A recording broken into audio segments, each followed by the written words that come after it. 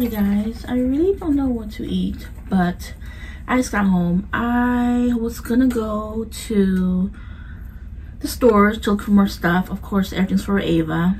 Um, but at the same time, I'm like, let me just focus on what I have on my list right now because I think I'm if I go to the store today, I'm gonna do too much impulsive buying, which is gonna be spending a lot. And it's for Ava, her birthday, not birthday, for Christmas. So there's stuff um, that's saved on TikTok Shop and then on Amazon. So I need to be careful. I feel like some of the stuff can wait until like right before Christmas, the week before Christmas. So we'll see, because I get paid again. But yeah, I'm just gonna do a black bean. It's been a while. I have some extra leftover, God knows when, mandu. Um, actually, you know what? I'm gonna put this in the air fryer. Yes and have that on the side. So we're gonna boil this up and then add the sauce. I haven't done this in a while, I'm gonna forget what to do. Yeah, I just pour the sauce and once the noodles are cooked. But yeah, I wonder if I have any more dumplings. So I found some fish cake. I didn't close it all the way, so maybe frostbite.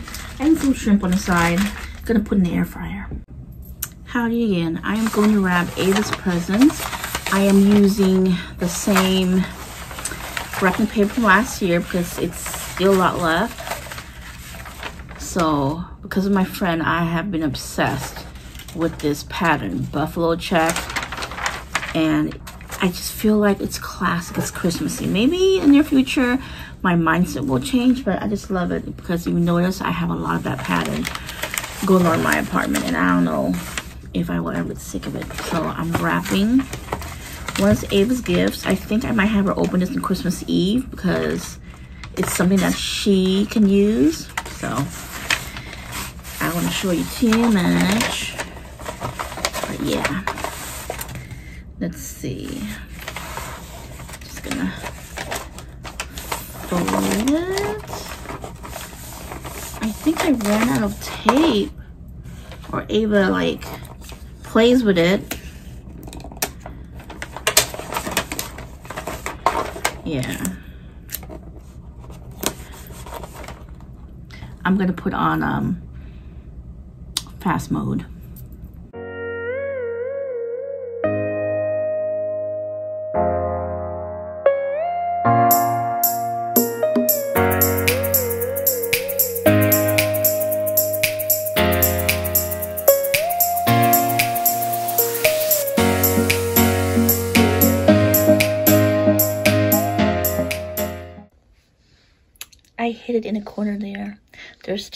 Right here and then two right here. Okay, I have one more to wrap because I thought I bought more stuff, but I guess it didn't. Again, I'm trying to be careful not to like impulse buy because everything is just so expensive. So, try and do this with Ava and see. Just watching my video. So it's say to like, I'm trying to wrap all these shaped stuff so basically you just measure and not measure like put the whatever object it is and see how big it is. Okay and then take it out. So let me see if I get this right. You're gonna fold it in half. I'm gonna screw up somehow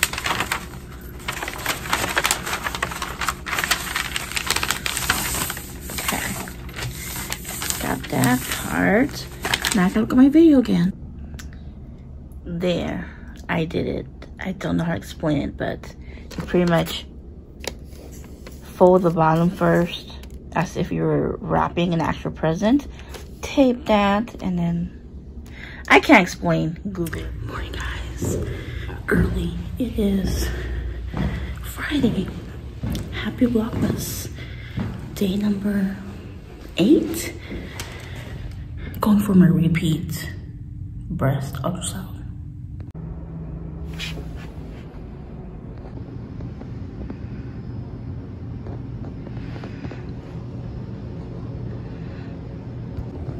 They gave me only like one gown. This one's kind of like short. I feel like I'm at a spa. Maybe the technique is different because this time it's an ultrasound, not like a mammogram. That's what I'm assuming, but I always feel nervous.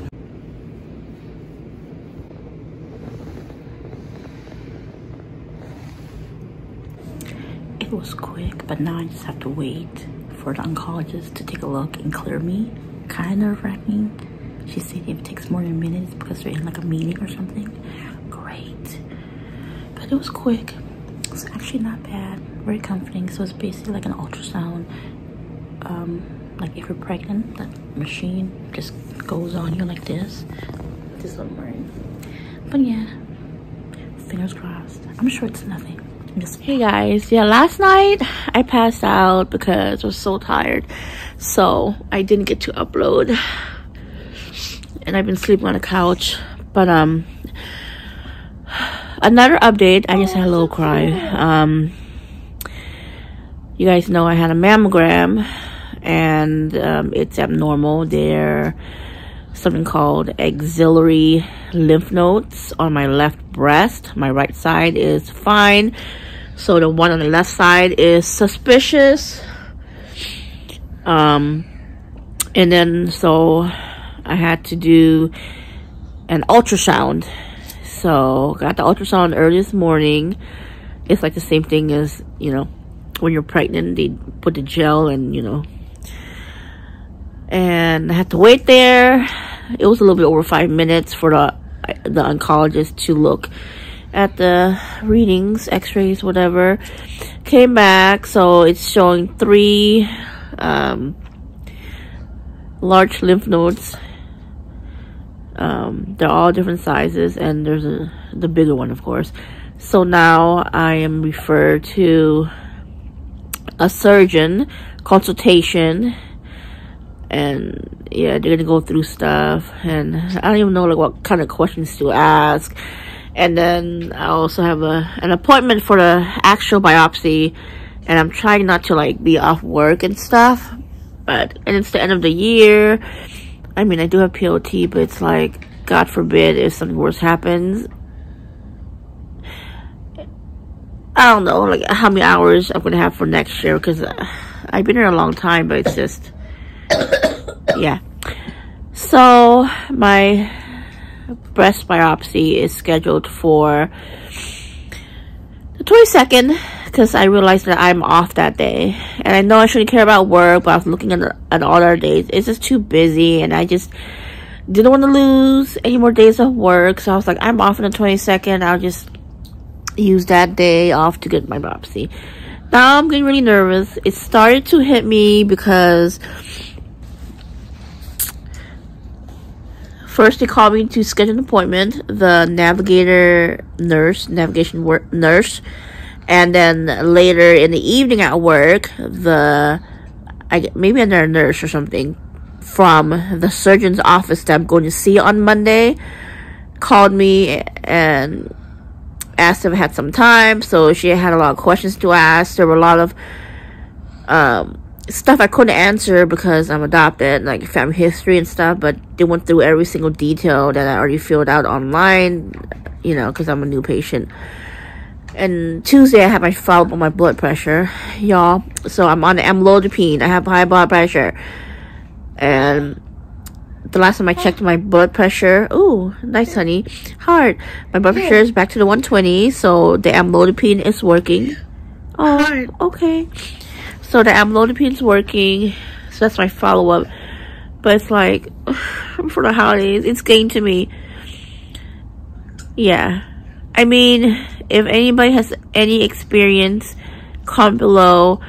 I mean, I've had tattoos. I've had a biopsy before when I was younger. Not my boobs, but I had like um, a bump or something around my um, down under. And I was, they did a punch biopsy. That was painful. I mean, I don't know what's worse, this needle biopsy or that, but I, I, I have tattoos, so. And I watched so many videos already, which is bad, but that's how I am. And it really, really hit me when the surgeon called me. So yeah, I'm gonna like probably brainstorm some questions. Yeah, like I know I shouldn't think too much, but then now it's like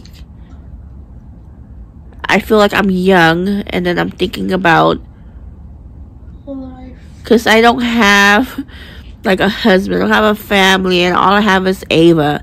And God forbid, it's like I don't want to die young and leave my little munchkin. Uh, yeah, I'm thinking too much here. I'm, um, yeah, I'm in life. It is what it is, but like, why? Right before the holidays, and then I was just thinking like,